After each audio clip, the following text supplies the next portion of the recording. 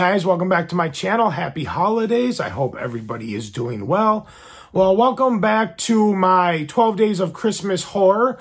We are on day number three, and today's pick comes from the uh, 1980s series Tales from the Darkside.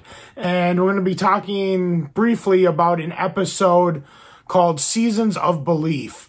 Now, this episode is about a family it's a mom and a dad and um, their couple of kids and they're and it's on Christmas Eve and their kids are kind of bored. So the parents decide to tell them kind of a scary Christmas story about a creature called the Grither, which is supposed to be like a Krampus uh, type creature and um, they they assure them that this is just a made up story. This is a creature that's not to be believed, and the children seem to be buying that until the creature shows up to the house.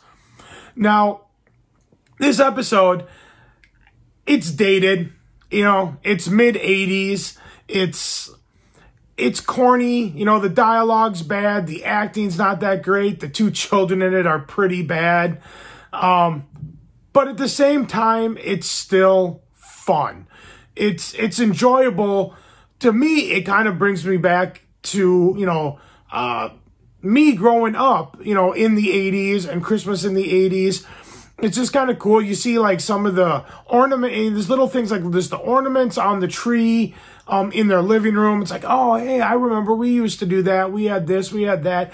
But as far as like an episode goes, I mean, it's not scary at all. It's rather corny. Um, they all, they, they, it's bad casting choices. Um, they always do this thing in the 80s and into the early 90s where they take these parents and give them two young kids. And the parents' age difference is always just ridiculously spread apart. Like the dad is always like 75 years old and the mom is like 35. Like, you know, they did the same thing in a Christmas story. It's the same thing. It was like a 20 or 30 year difference between the mom and the dad age wise. And it just was never unbelievable. That seemed to be a very popular thing that they did in the 80s and in the early 90s. And this is no different.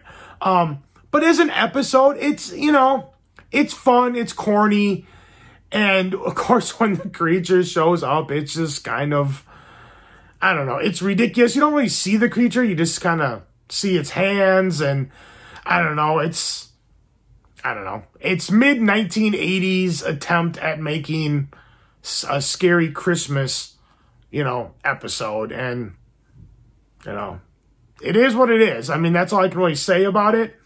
Um, but yeah, I mean, I don't know. It's 22 minutes long. If you feel like watching some corny 90s Christmas horror television show for 22 minutes, if you're interested in picking this, I know I'm really selling it here. Um, if you're interested in picking this up, you can get the uh, Tales from the Darkside, the complete series, which is actually a pretty cool series. Um, for what it is. It's pretty cool. But you can get it on Amazon right now for, I believe, twenty six ninety nine. I'll leave a link in the description below.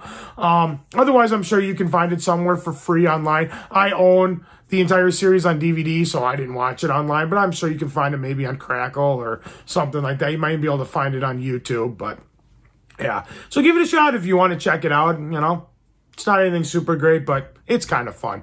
Uh, that's going to do it for today, guys. If you like this video, give it a big thumbs up. Let me know you guys like what I'm doing. Like, share, comment, subscribe, all that fun stuff. And I will see you guys in the next video. Take care. Bye.